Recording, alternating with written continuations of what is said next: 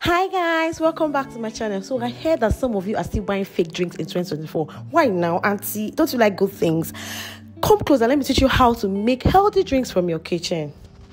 Substitute this drink for your Coke, your Fanta, your Sprite, all the soda drinks you've been taking. These drinks are really unhealthy to you. Start making your healthy drinks from home. So whenever you feel like taking Coke, just go and grab a bottle of this drink drink has so many benefits. It helps in giving you a clearer skin, it helps in digestion, it helps in detoxification of your system. Like, please stop taking coke. Start making this drink today. So first thing first i, go in with my carrots um my washed scraped carrots i cut them into tiny pieces to help my blender. Then i go in with my turmeric and my ginger. And also go in with my yellow pepper. We'll be using yellow pepper for this drink um, this yellow pepper helps in burning fat. So this drink also helps you in losing weight.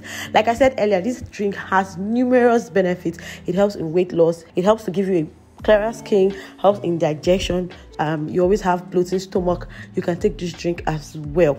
Okay, so once we're done cutting in our yellow pepper, we go in to cut our pineapple. So we're going to be cutting this pineapple into tiny pieces just to help the blender blend it well.